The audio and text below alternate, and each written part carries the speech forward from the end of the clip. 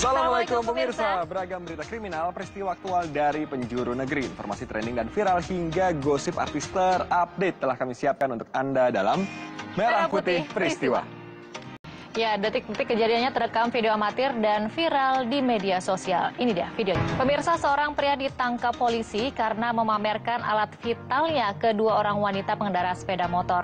Aksinya direkam kamera telepon genggam si korban. Benar banget, Bud. Keinginannya akhirnya terwujud. Si polisi lalu lintas pun mengizinkannya. Dia diajak berkeliling menggunakan motor besar dibonceng polisi. Hmm, sepertinya seru ya, Bud. Ini dia. Pemirsa seorang wanita di Ponorogo, Jawa Timur nekat merobohkan rumahnya yang bernilai 300 juta rupiah dengan alat berat karena dicerai suami yang terpikat wanita lain. Ya, Putra Riri Virus mengaku pernah ditawari di poligami oleh sang mantan, namun ditolak mentah-mentah. Selain Riri, berikut sederet aktris yang lebih memilih menjanda ketimbang berbagi suami alias di madu. Ini dia. Putra, kamu kan penggemar sepak bola ya.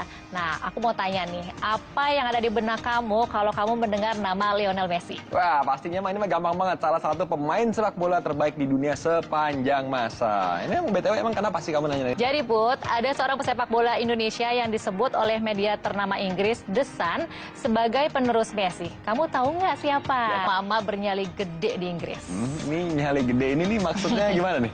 Jadi, si mama ini berani melawan perampok toko dengan tangan kosong, Put. Wah, wah, wah, wah. Ini seperti apa? Langsung aja kita lihat sama-sama videonya berikut ini.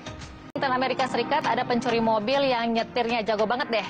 Padahal mobilnya itu udah dikepung oleh polisi, tapi ia berhasil kabur, Put. Pemirsa di India ada drama penyelamatan yang berlangsung sangat menegangkan. Kali Putra, bila pada awal Januari lalu penambahannya seribuan orang, kini dalam sehari tembus 27 ribu kasus. Pemirsa, ini di Bandung ada laporan warga soal sampah yang menggunung di Pasar Sehat Cilenyi. Namanya pasar sehat tapi sampah menggunung. Bingung ya, Put? Iya, itu dia agak ironis ya, Intan ya. Nah, seperti apa? Langsung aja kita lihat liputannya berikut. Anda bisa menyampaikan keluhan atau masalah di lingkungan sekitar Anda lewat hashtag tolong dong di Twitter at newsantv.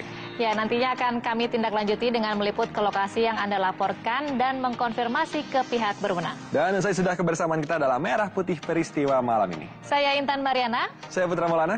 Kami berdua pamit undur diri. Sampai ketemu lagi besok. Selamat beristirahat dan Wassalamualaikum.